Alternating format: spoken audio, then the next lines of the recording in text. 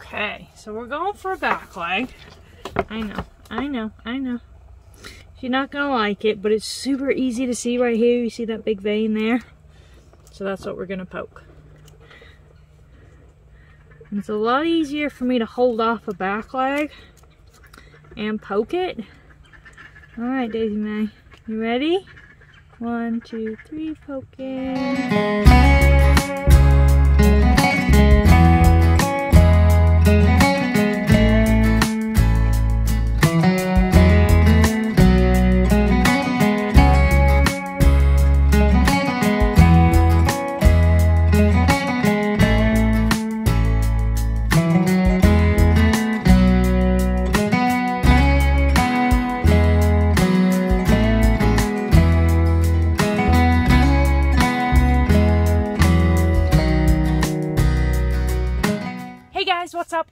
Back to my channel. Happy Pancake Day.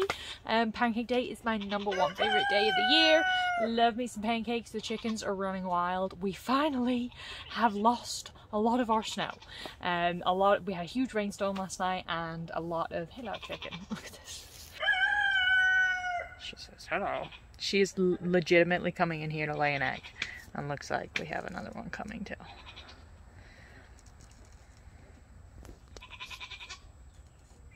So today I am going to show you guys how to draw some blood onto goatees. Miss Jessie has uh, kindly offered her services today. Um, she was the easiest to draw on so I already have blood. Um, I might need to get some more, I'm not sure. But I'm going to show you guys how I draw blood today. So I really didn't think this through when I was like, oh, I'm going to do a video on how to draw blood from a goat because I have to hold it off. I also have to hold the camera as well as a needle and I don't know, so it's going to be a bit weird. But let me go ahead, I'm going to show you guys like the vein and see if I can get it to pop up because I might actually just give her a little quick shavy shave as well. Okay, so here we go. Interesting setup I've got going on. As you can see here, this big old squishy thing it's kind of lighter that's just her color but that is her vein. So I'm rolling it over and holding it off so I can actually see where I'm poking.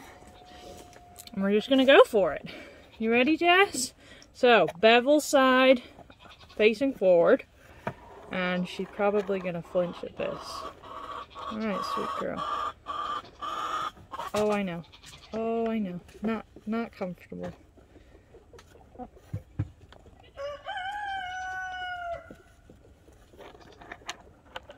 Where did it go? Oh.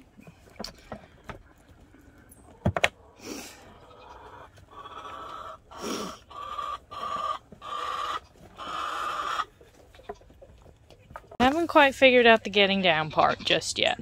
Getting up, no problem. Getting down, we have a few issues. Come on.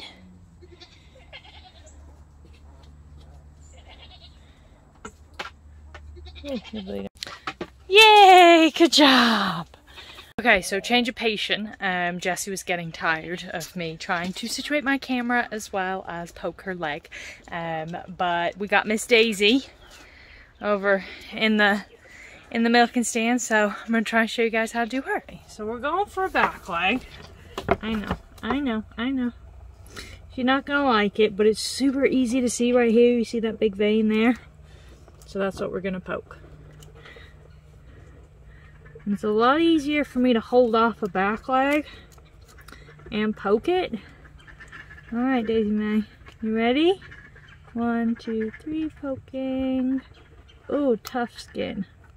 All right, so we're in the vein there. And there we go.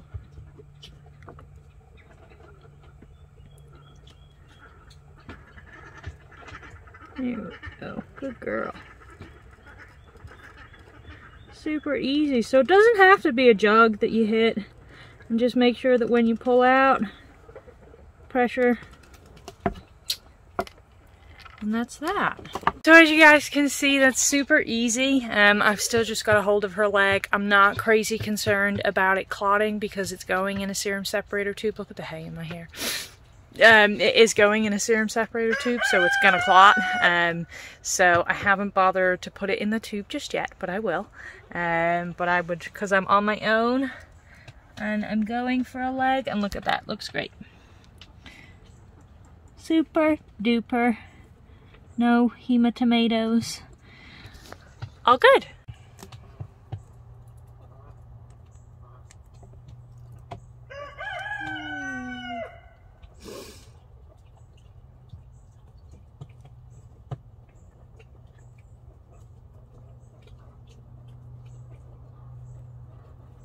One thing you want to make sure you do when you fill, fill the tube up is don't force it. If you have to force it, then you should probably pop the top off and just take your needle off, squirt it in. It's not gonna hurt, just like that. So, so I still got a little bit in there. Doop. And there you go. There's your tube. Get your Sharpie. Make sure you label it. Daisy. We got a full tube and a chicken.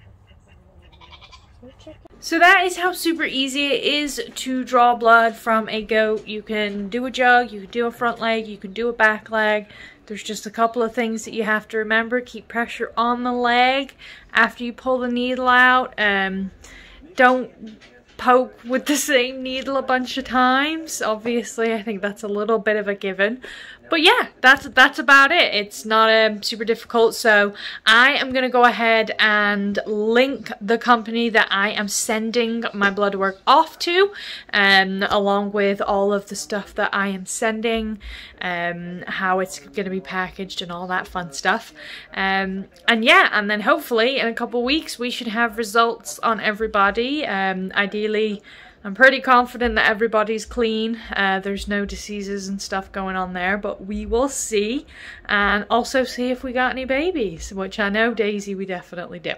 So yeah, so that's blood work. I'm gonna go make some pancakes for pancake day. So come and join me in the kitchen.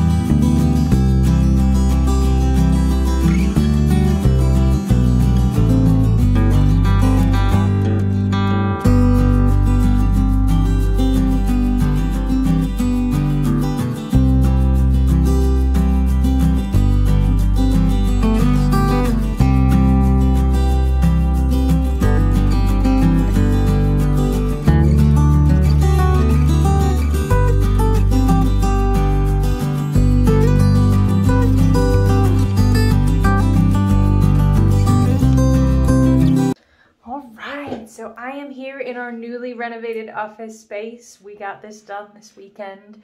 Um, used to be the dog's bedroom. I'll show you before picture here. and this is where we're at now. Um, so yeah, super happy about this. Gives me and Tyler a bit of a place to work when needs be, which is super awesome. So I'm going to go ahead and show you guys um, the Sage Lab, which is the lab that I'm going to use to send the goat's blood work off. Um, so let me just share the screen here. So, um, so this is Sage Lab. Um, I just, it's Sage, S-A-G-E, um, and then lab.com. Um, so they have a bunch of goats and sheep, cattle testing and whatnot, but we are going to go ahead and do animal testing goats. And so they have all these different tests. You can test singularly or you can test the whole thing all together. I think they call it like a biosecurity panel. Um, so these are all the tests that there are possible to do. The BioPRYN here, that is the pregnancy test. Um, so that's something that is also additional. So we're going to go ahead and look at the form. So the form is super simple. Um, you just have to, here we go. Um, so company name, if you have a company name, if not, I would just leave it blank. Um, obviously your name, address, your all your fun stuff, phone number, email, how you want them to send your report. So do you want them to send it by phone? Do you want them to call you? Or do you want them to send it by an email? Personally, I would prefer email just because then I know I have like hard proof um, of my test results. And then over here you have, I wonder if I can draw on the screen. Yeah, so over here you have all of the different prices. Um, so the BioPRYN, CAE, CL, Jones, Q Fever, and then the biosecurity panel is what I'm going to be doing along with the BioPRYN. Um, so the biosecurity panel is all of it plus, um, plus the pregnancy panel. So if we um, go down here, so they want you to number your tubes. Um, I didn't realize that, so I'll go ahead and just put numbers on my tubes before I send them um, and that shouldn't be a problem. And then animal ID, so that's however you ID your animals. Um, obviously, I ID them by their name, and some big places might ID them by number, um, all that kind of stuff. So I would just put Jesse. Wow, my handwriting is awful on this. Um, do you want to do a bioprint? Yes. Days pregnant? Unknown. So I'm just going to put, I don't know what I'm going to put unknown. I'm going to put maybe 10. We'll go for 10. um, and then the first time I filled this out, I was just like, yes, yes, yes. And then I realized I could just go, mm -mm, and then put my price down there, which is going to be 23 plus 6, so 29. Um, and that'll be for Jesse and for Daisy. But then obviously for Bandit, he doesn't need the pregnancy test, but I am going to do this for him. So he'll do the $23. Um, see Daisy will be the 29. Not that I need to know if she's pregnant, but whatever, I don't care. And then um, Ranger, obviously you make this fit in the lines. Um, and biosecurity and $23 and all that's fabulous. Done, done, done deal. Um, then you print that off or whatever you do. They have up to, you can, so you can put up to 46 samples, which I can imagine is an extortionate amount of money. Um, I will not be sending off that many samples, but that is as many as you can send. So yeah, so then you go ahead and print that off. Um, and then yeah, so that's it. They, don't say that like they want you to send the blood on ice. They don't really tell you how to send your blood. So that's something I need to look into and I might contact them um, because I would imagine it has to go on ice because everything that all blood that you send out goes on ice. Shipping instructions. Boom. Let's look at this. Um, so they can be sent through USPS, FedEx, or UPS. Um, if it is in a styro, okay, so they like, or if shipped in a styrofoam cooler or insulated bag, two to three, two to three days shipping is sufficient. Okay, cool. So good to know.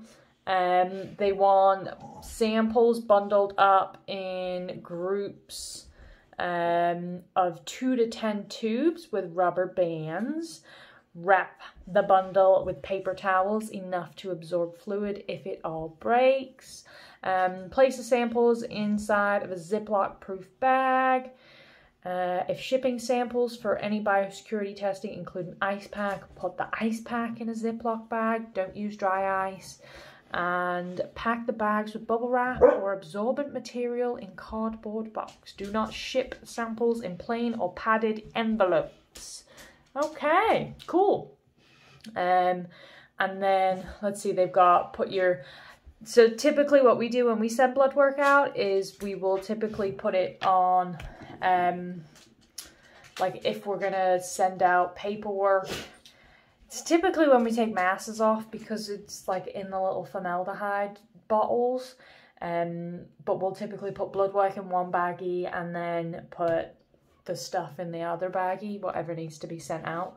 So yeah, so, and then they've got how to ship, so that's how you can find all that stuff. So it's pretty self-explanatory. Um, they tell you on the shipping and price, or schedule and prices, the days that they um, come out with results, which I think is super nice. So um, obviously this is what I'm looking at and it says see above days. So they're going to contact me throughout the week to let me know about pregnancy and all the other testing, um, which is cool. So, and they'll just email me through that. So yeah, that's what we're going to do. That's the plan of action. Um, I'm probably going to get that sent out this weekend.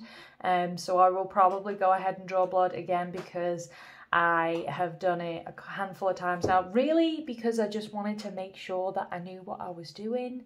Um, so I have plenty of tubes, um, so I will probably go ahead and get more blood over the next, or probably over the weekend slash Monday, Tuesday, get it sent out um, so that we can get our results back before our babies come in April. Are you guys excited for Go Babies in April? Because I am.